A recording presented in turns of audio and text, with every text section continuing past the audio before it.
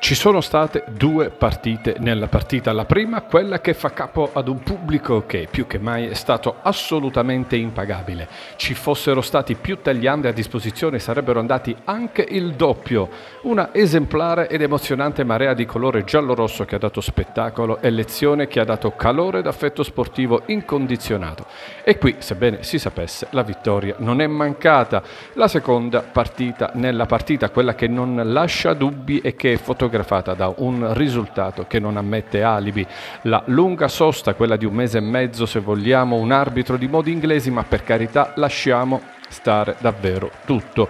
Il Giulianova in fondo ha perso in casa, se avete capito bene, ha subito una sconfitta casalinga, perché di questo alla fine si tratta. Come? Beh, fisicamente tecnicamente, psicologicamente ed agonisticamente, sebbene abbia avuto due opportunità per rendere il risultato più gestibile ai fini del ritorno, per troppo tempo, nei 90 minuti, sono venute a mancare le forze fisiche per stare in contesa. Il primo tempo, e qui passiamo alla narrazione, viene giocato in modo bloccato, senza sussulti di rilievo e forse è per questo che il Giulianova viene ingannato e si fida troppo delle mancate turbolenze della prima frazione di gioco una indecisione di Boccanera dopo una decina di minuti che dà un po' di pathos, poi alla mezz'ora tentativi dalla distanza, prima degli ospiti e poi degli emiliani. Poco prima del break l'immarcescibile ed invidiabile Selleri prova a scaldare le polveri con un tiro al lato. La ripresa è un altro film, due abbondanti giri di lancetti e il servizio su Francesco Baietti che pure è spalle alla porta che si libera con mestiere di mafione e poi mette dentro il suo vantaggio.